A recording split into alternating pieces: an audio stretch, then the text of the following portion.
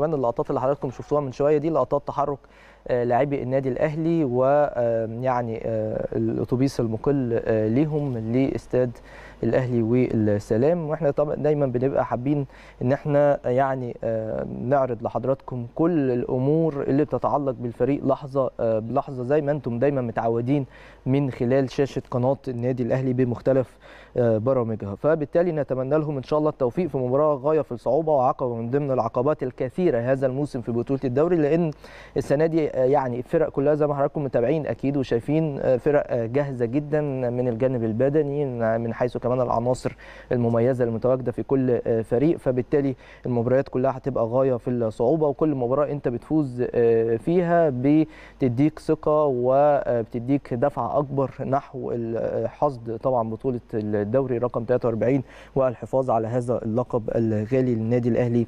وجماهيره. كل التوفيق للنادي الأهلي في هذه المباراة. لسه كمان عندنا تفاصيل خاصة بالأهلي وبترند الأهلي النهارده هنتكلم فيها بس هروح لفاصل سريع وبعدين نرجع نكمل. يلا.